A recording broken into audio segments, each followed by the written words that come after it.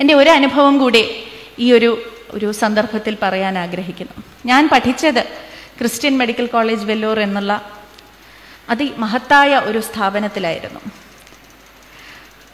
അവിടുത്തെ ഒരുപാട് അധ്യാപകർ എന്റെ ഒരുപാട് ഡോക്ടർമാർ ഡോക്ടർ കുടുംബങ്ങൾ തങ്ങളുടെ ജീവിതങ്ങൾ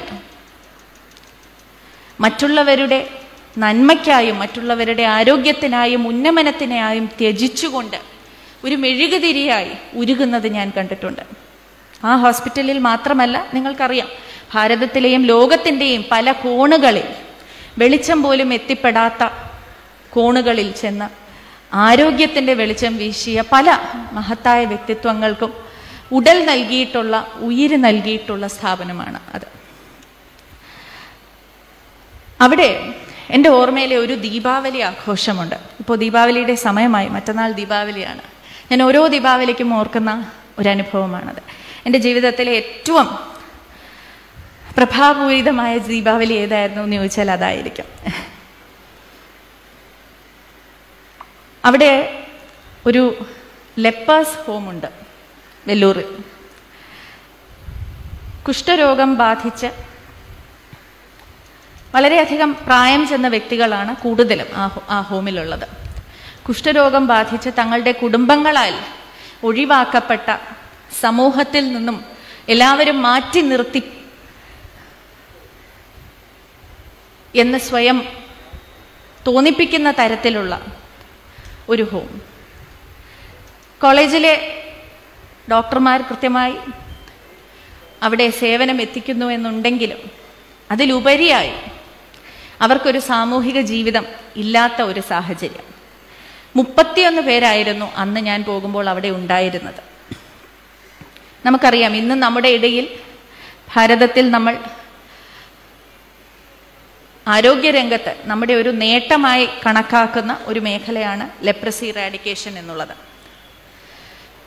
എങ്കിലും നേരത്തെ ഉണ്ടായിരുന്ന കാലഘട്ടത്തിൽ അതിനായിട്ടുള്ള സാങ്കേതിക വിദ്യ അല്ലെങ്കിൽ ശാസ്ത്ര പുരോഗതി കൈവരിച്ചിട്ടില്ലാത്ത കാലഘട്ടത്തിൽ കുഷ്ഠരോഗം ബാധിച്ച് അംഗവൈകല്യം സംഭവിച്ച് അതിലുപരിയായി വൈരൂപ്യങ്ങൾ സ്വന്തം ശരീരത്തിന് സംഭവിച്ചിട്ടുള്ള മുപ്പത്തൊന്ന് പേരായിരുന്നു. എല്ലാവരും ആ സംസ്ഥാനത്തിൽ നിന്നോ ആ ജില്ലയിൽ നിന്നോ ഉള്ള വ്യക്തികളല്ല. മറ്റ് സംസ്ഥാനങ്ങളിൽ നിന്നും മറ്റ് ജില്ലകളിൽ നിന്നുമൊക്കെ വന്നിട്ടുള്ള വ്യക്തികളായിരുന്നു അവർ. ആ ദീപാവലിക്ക് അവരോടൊപ്പം ദീപാവലി ചിലവഴിക്കാം എന്ന് പറഞ്ഞ് എന്റെ ഇന്റേൺഷിപ്പിന്റെ സമയമായിരുന്നു അത്. അപ്പോൾ കമ്മ്യൂണിറ്റി മെഡിസിന്റെ ഇന്റേൺഷിപ്പ് പോസ്റ്റിംഗ് നടക്കുന്ന സമയമാണ്. ആ ദീപാവലി അവരുമായി ചിലവഴിക്കാം എന്നോർത്ത് ഞാനും എന്റെ സുഹൃത്തും കുറേ അധികം മധുര പലഹാരങ്ങളും കുറച്ച് വിളക്കുകളും ഒക്കെ ആയിട്ട് അവിടെ ചെല്ലുകയാണ്. എല്ലാവർക്കും മധുരം നൽകി ഭക്ഷണം നൽകി എല്ലാവർക്കും ഏറെ സന്തോഷമായി. വെളിച്ചവും വിളക്കും ദീപാവലിയും ഒക്കെ ആഘോഷമായി മാറ്റി. അതിനുശേഷം അന്ന് എന്റെ കയ്യിൽ ഒരു ചെറിയ ക്യാമറ ഉണ്ടായിരുന്നു. അപ്പോഴും സ്മാർട്ട് ഫോൺ ഇല്ല കയ്യിൽ അപ്പോൾ ഒരു ചെറിയ ക്യാമറ എന്റെ കയ്യിലുണ്ടായിരുന്നു. അതിൽ ഈ ഡിജിറ്റൽ സ്ക്രീനുള്ള ക്യാമറയായിരുന്നു അന്നുണ്ടായിരുന്നത്. അപ്പോൾ ഫോട്ടോ എടുക്കുമ്പോൾ അപ്പോൾ തന്നെ തിരിച്ചു നോക്കിയാൽ അതിൽ കാണാൻ സാധിക്കും അങ്ങനത്തെ ഒരു ക്യാമറ. അപ്പം ഞാൻ ആ ക്യാമറ എടുത്തുകൊണ്ട് ഞാൻ അവരോട് ചോദിച്ചു ഞാൻ നിങ്ങളുടെ ഫോട്ടോ എടുത്തോട്ടെ? എന്ന് ചോദിച്ചു. എന്റെ മനസ്സിൽ ഒരു ചെറിയ പേടി ഉണ്ടായിരുന്നു. കാരണം അവർക്കറിയാം അവരുടെ മൂക്കിന് വൈരൂപ്യം സംഭവിച്ചിട്ടുണ്ട് മുഖത്തിന് വൈരൂപ്യം സംഭവിച്ചിട്ടുണ്ട് വിരലുകൾക്ക് വൈരൂപ്യം സംഭവിച്ചിട്ടുണ്ട്. അപ്പൊ അത് നമ്മൾ ചിത്രമാക്കി പകർത്തിയാൽ അവർക്കത് ഇഷ്ടപ്പെടുമോ ഇല്ലയോ എന്നുള്ളത് എനിക്ക് അറിയില്ലായിരുന്നു അതുകൊണ്ട് ഞാൻ വളരെ താഴ്മയോടെ ചോദിച്ചു. അവർ വളരെയധികം ഉത്സാഹത്തോടുകൂടി ഫോട്ടോയോ എടുക്കൂ എടുക്കൂ എന്ന് പറഞ്ഞു. അപ്പൊ ഞാൻ ആദ്യം എല്ലാവരും കൂടെയുള്ള ഒരു ഫോട്ടോ എടുത്തു. അപ്പൊ ഒരാൾ അതിൽ നിന്നും അതെന്താണ് അതിൽ കാ- ഞാനത് നോക്കുന്നത് കണ്ടായിരുന്നു. അതെന്താണ് എന്ന് അറിയാനായിട്ട് എന്റെ കയ്യിൽ നിന്നും ആ ക്യാമറ ഒന്ന് തരുമോ എന്ന് ചോദിച്ചു. അതെന്താണ് അതിൽ നോക്കുന്നതെന്ന് ചോദിച്ചു.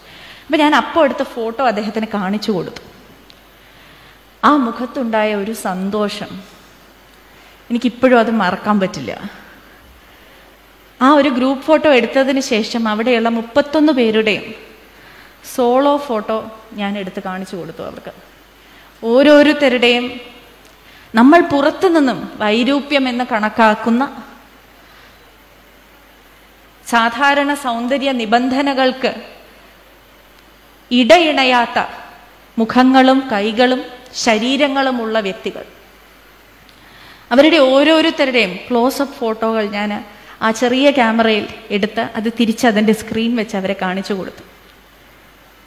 ഓരോരുത്തരുടെയും മുഖത്തുണ്ടായ സന്തോഷം എന്നുള്ളത് എനിക്കിപ്പോഴും അത് വിവരിക്കാൻ സാധ്യമല്ല. അവർക്ക് ഓരോരുത്തർക്കും അവരുടെ മുഖത്തെയും അവരുടെ ശരീരത്തിന്റെയും സൗന്ദര്യം ആ ഒരു നിമിഷം അവർക്കേറെ സന്തോഷം പകർന്നു ആനന്ദം പകർന്നു എന്നുള്ളത്. ഒരുപക്ഷെ ഞാൻ ജീവിതത്തിൽ ചെയ്തിട്ടുള്ള ഏറ്റവും നല്ല കാര്യമായിട്ട് ഞാൻ കണക്കാക്കുകയാണ്. ഏറ്റവും വലിയൊരു അനുഗ്രഹമായിട്ട് ഞാനത് കണക്കാക്കുകയാണ്. അന്ന് അത് ചെയ്യണം എന്ന് പറഞ്ഞിട്ടല്ല ഞാൻ അവിടെ പോയത്. പക്ഷെ അവരുടെ ഒരു പ്രതികരണം കണ്ടിട്ടാണ് ഓരോരുത്തരുടെയും ഫോട്ടോ എടുത്തു കൊടുക്കാമെന്ന് ഞാൻ വിചാരിച്ചത്. അപ്പം നമ്മുടെ ഉള്ളിലെ അഴക് എന്നുള്ളത് നമുക്കെല്ലാവർക്കും അറിയാം. നമുക്കെല്ലാവർക്കും നമ്മൾ ഓരോരുത്തരും സുന്ദരിയാണ് സുന്ദരനാണ് എന്നുള്ളത് അറിയാം. അതൊരു പക്ഷെ സമൂഹത്തിന്റെ മാനദണ്ഡങ്ങൾക്ക് കിടപിടിക്കാവുന്നതാകണം എന്നില്ല ആ സമൂഹത്തിന്റെ മാനദണ്ഡങ്ങൾക്ക് കിടപിടിക്കാവുന്ന വണ്ണം നമ്മെ നമ്മൾ മാറ്റുമ്പോഴാണ് അല്ലെങ്കിൽ മാറ്റാൻ ശ്രമിക്കുമ്പോഴാണ് നമ്മുടെ ഉള്ളിൽ ഒരു സംഘർഷം ഉണ്ടാകുന്നത് എത്ര വിരൂപിയാണ് എന്ന് സമൂഹം പഴി ചാർത്തിയാലും അവരവർക്ക് അവരവർ സൗന്ദര്യമുള്ളവർ തന്നെയാണ്.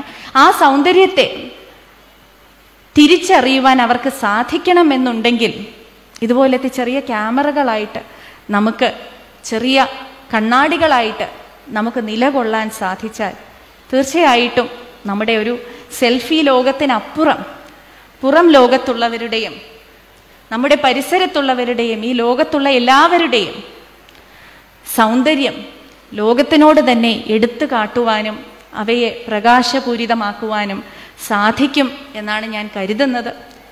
അതിന് നമ്മാലാകുന്ന രീതിയിൽ ചെറുതും വലുതുമായിട്ടുള്ള പരിശ്രമങ്ങൾക്ക് ഒരിക്കലും ഒരു അന്ത്യമുണ്ടാകരുത് എന്ന് മാത്രമാണ് നിങ്ങളോടുള്ള എന്റെ അഭ്യർത്ഥന. വെല്ലൂറിനെ കുറിച്ച് പറയുമ്പോൾ മറ്റൊരു പ്രധാനപ്പെട്ട സ്വാധീനം എന്ന് പറയുന്നത്. പ്രകാശവും വെളിച്ചവും എല്ലാം നമ്മൾ സംസാരിച്ചു കൊണ്ടിരിക്കുമ്പോൾ ആ കാര്യങ്ങളാണ് ചിന്തയിലേക്ക് ഒഴുകിയെത്തുന്നത്. വെല്ലൂരിൽ ഞങ്ങൾ എല്ലാവരും ഗ്രാജുവേഷൻ സെറിമണി എന്നുള്ളത്. എല്ലാ കോളേജുകളിലും ഏറ്റവും പ്രധാനപ്പെട്ട ഒരു ദിവസമായിരിക്കും നമ്മുടെ ഗ്രാജുവേഷൻ സെറിമണി എന്നുള്ളത്. ആ ഗ്രാജുവേഷൻ സെറിമണി കഴിയുമ്പോൾ എല്ലാ കുട്ടികളും പുറത്തേക്ക് ഇറങ്ങുന്നതിന് മുൻപ് ഒരു ഗാനം അവിടെ പ്രക്ഷേപണം ചെയ്യും. എല്ലാ വർഷവും പ്രക്ഷേപണം ചെയ്യും. ഇപ്പോഴും അത് നടക്കുന്നുണ്ട്. ക്യാരി യുവർ കാൻഡിൽ എന്നുള്ള ഒരു ഗാനമാണത്. Carry your candle run to the darkness seek out the lonely tired and worn നിങ്ങളുടെ മെഴുകുതിരി എടുത്തുകൊണ്ട് ഇരുട്ടിലേക്ക് ഓടുക എന്നാണത് പറയുന്നത്. ആ ഇരുട്ടിലേക്ക് ഓടുമ്പോൾ സമൂഹത്തിൽ നിന്നും അന്യനാക്കപ്പെട്ടവനെയും അവശനായവനെയും നിങ്ങൾ ആശ്ലേഷിക്കുക അവരുടെ ജീവിതത്തിൽ പ്രകാശം പരത്തുക എന്നുള്ളതാണ്. ആ ഗാനത്തിലൂടെ ഞങ്ങൾക്ക് സന്ദേശമായി നൽകിയ കോളേജിൽ നിന്നും ഞങ്ങളെ പുറത്തേക്ക് വിടുന്നത് ഈ ലോകത്തിന്റെ മധ്യത്തിലേക്ക്. അതുപോലുള്ള ഒരു മെഴുകുതിരി നമ്മുടെ എല്ലാവരുടെയും മനസ്സിന്റെ ഉള്ളിലുണ്ട്. അതിലൊരു ചെറിയ തിരിനാളം കത്തിക്കുവാനാണ് ഒരു പക്ഷേ ഇതുപോലത്തെ സഭകളും കൂട്ടായ്മകളും ആത്മീയ പ്രവർത്തനങ്ങളുമൊക്കെ നിലകൊള്ളുന്നത് എന്നാണ് ഞാൻ കരുതുന്നത്. അത്തരത്തിലുള്ള മെഴുകുതിരികളായി മറ്റുള്ളവരുടെ ജീവിതത്തിൽ വെളിച്ചം വീശുവാൻ നിങ്ങൾക്ക് ഓരോരുത്തർക്കും സാധിക്കട്ടെ എന്ന് മാത്രം പറഞ്ഞുകൊണ്ട് എന്റെ വാക്കുകൾ ഉപസംഹരിക്കാൻ ആഗ്രഹിക്കുന്നു. ക്യാരി യുവർ കാൻഡിൽ എന്ന പാട്ടിനെ കുറിച്ച് പറഞ്ഞപ്പോൾ ഒരു ഗാനം കൂടി മനസ്സിലേക്ക് ഓടിയെത്തുകയാണ്. സ്കൂളിൽ പഠിച്ചുകൊണ്ടിരുന്ന കാലഘട്ടത്തിലുണ്ടായിരുന്ന ഒരു ഗാനം. ലീഡ് കൈൻഡ്ലി ലൈറ്റ് നിങ്ങളിൽ പലരും കേട്ട് കാണും. ഒരുപക്ഷെ ജീവിതത്തിൽ ഏറ്റവും അധികം പ്രാവശ്യങ്ങൾ ഞാൻ പാടിയിട്ടുള്ള ഗാനമായിരിക്കുമെന്ന് തോന്നുന്നു. കാരണം സ്കൂളിൽ അസംബ്ലിയിൽ പാടിപ്പിക്കും എന്നുള്ളത് കൊണ്ട് ഹോളി കോൺവെന്റിലായിരുന്നു പഠിച്ചത്.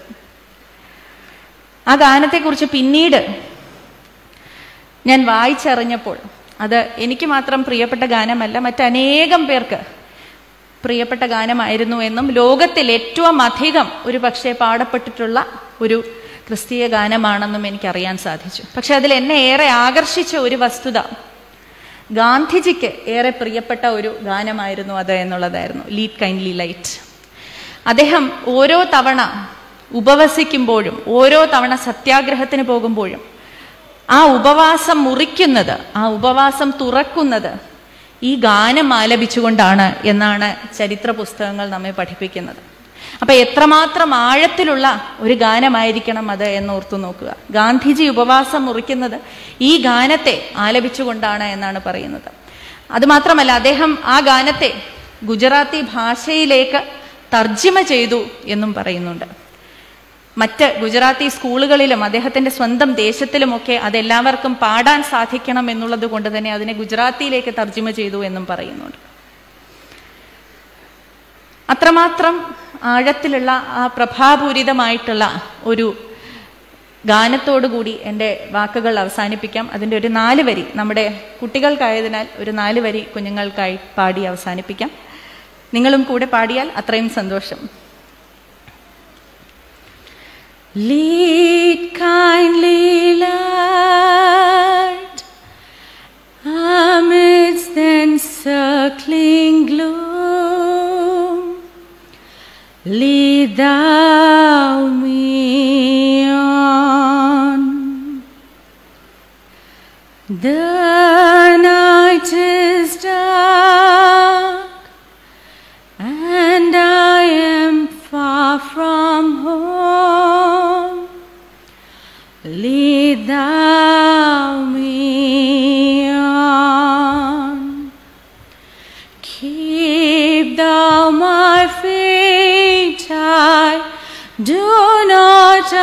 to